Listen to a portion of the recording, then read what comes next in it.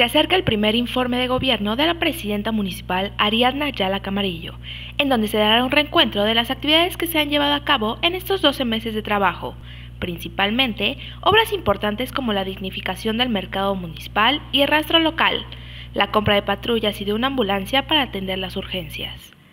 En entrevista, la presidenta mencionó que dentro de las actividades que se tienen que realizar para próximas fechas se encuentra el informe de labores, en donde se dará a conocer todo el trabajo realizado en un año, a pesar de los recortes presupuestales y las deudas heredadas por pasadas administraciones. Agregó que en el informe los atlisquenses van a saber cifras muy concretas y muy específicas, dispuestas para cualquier que las pueda consultar para que no pierda la certeza y confianza de la gente.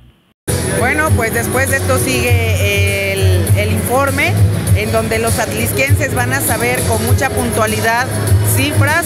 muy concretas, muy específicas, muy en la pantalla, muy dispuestas a que cualquiera las pueda consultar para no perder la certeza y la confianza de la gente. Y no es para menos, los habitantes de Atlisco han tenido que soportar administraciones como la de Eleazar Pérez Sánchez con nulo trabajo y obras mal hechas, como la de José Luis Galeazzi con la venta de los terrenos de Santa Rita a discreción y en beneficio de algunos cuantos, y la de Guillermo Velázquez que no podía ser justificada, y existe un daño patrimonial de más de 217 mil millones de pesos.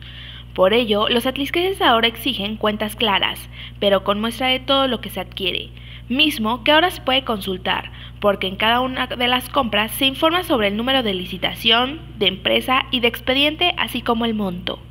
También se informará sobre los avances en materia turística y el regreso de eventos de gran afluencia turística como la Feria Atlisco, entre otras actividades.